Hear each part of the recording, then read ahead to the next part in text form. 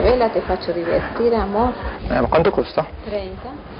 Il mercato del sesso a pagamento impone prezzi stracciati e orari d'ufficio. Che orario fai?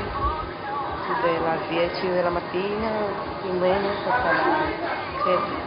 Della sera. Centro storico di Genova, decine di prostitute negli appartamenti e nei bassi che affacciano sui vicoli. Hay otra ragazza che lavora nel primo piano. Qui ci sono interi palazzi affittati alle ragazze che si vendono. Qui paghi l'affitto a una famiglia italiana. Sì, sì, sì, è una famiglia italiana. Pagano più di 1000 euro per un buco. È questo il racket, questo il business in mano a pochi.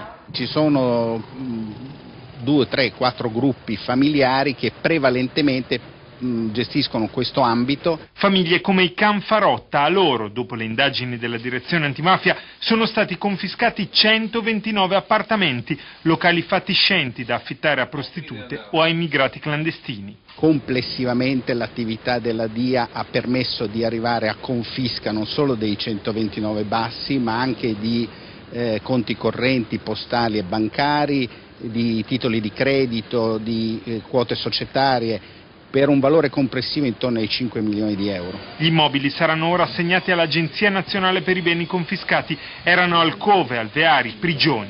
Alcune stanze hanno anche una serratura esterna per rinchiuderci dentro chi sgarrava. Li chiudevano dentro. Succedeva, sì, sì.